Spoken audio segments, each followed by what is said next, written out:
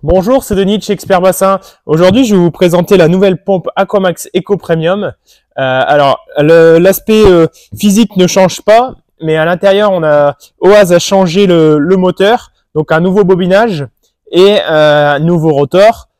Et on peut la, brancher grâce à un câble EGC à un contrôleur qui permet de, la télécommander grâce à son smartphone. On va ouvrir la boîte.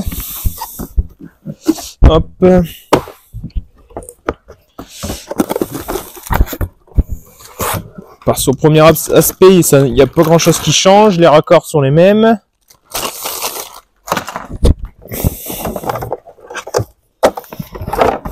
L'aspect visuel est toujours le même. Un petit peu plus lourde que l'ancienne.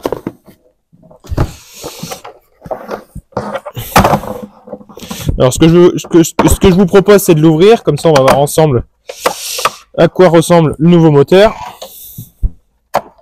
Donc en effet, il y a un petit peu plus gros.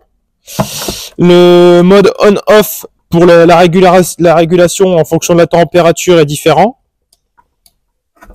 Pour la fixation, c'est toujours la même. Toujours la même. Ça change pas ça.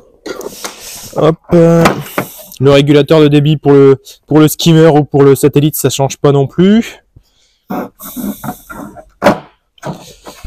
L'intérieur de la coque ne change pas. Mais par contre, juste ici en dessous, la petite particularité, comme je vous, disais, euh, on peut brancher un câble EGC juste ici derrière.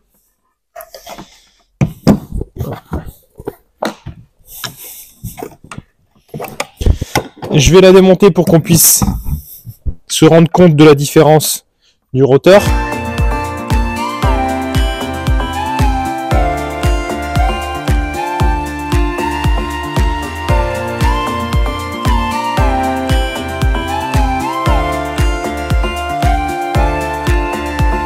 Donc là, ici, on peut s'apercevoir que les rotors sont complètement différents.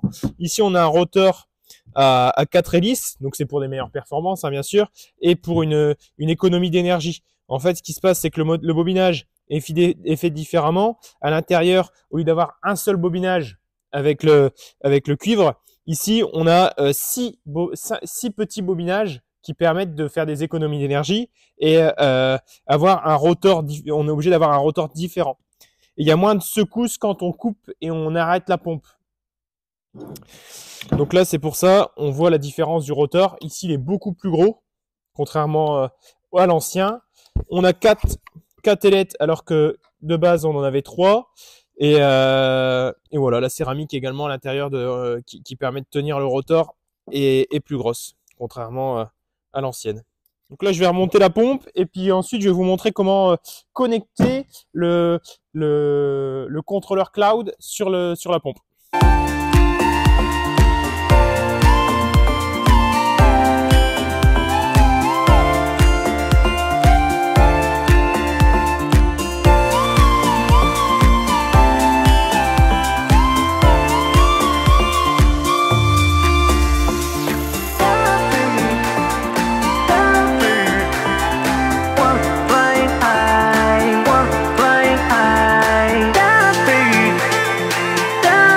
Ça y est, la pompe est remontée.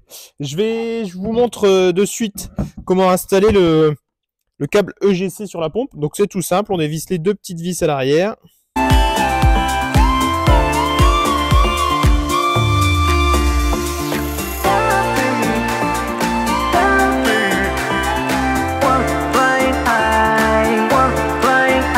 Donc là, comme je vous le disais, je vais vous montrer comment brancher le, le cloud sur, le, sur la pompe. Donc il suffit de dévisser les deux petites vis à l'arrière et le, petit cabochon qui est juste ici. Donc ici, on aperçoit la connectique EGC qui est juste ici à l'arrière de la pompe.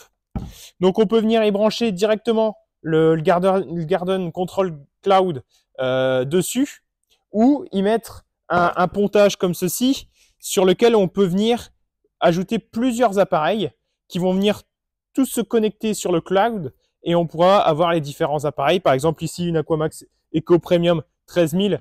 Sur l'application, on pourra voir la- l'Aquamax Eco Premium 13000, ainsi que, euh, par exemple, un, jeu de lumière ou une, autre, ou une autre pompe. Donc là, ici, on se retrouve sur l'application. Donc là, on a le FM Master euh, Cloud numéro 2, donc je clique dessus. Mon Aquamax, bien sûr, est, branché sur, euh, euh, ce FM Master. On retrouve les quatre prises télécommandées qui sont allumées, le variateur.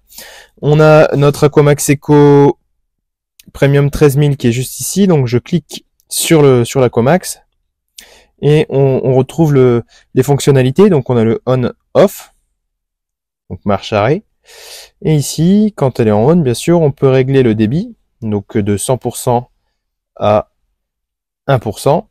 Et nous retrouvons également en haut euh, la, consommation. Comme là ici elle est à 1%, elle va consommer 26 watts. Si je la monte à 100%, on va avoir que le, elle va monter à 97 watts de consommation.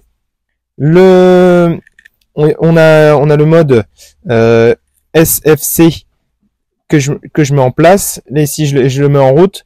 Mon eau est, tempérée, elle est, pas, pas chaude, mais elle est, elle est pas froide non plus.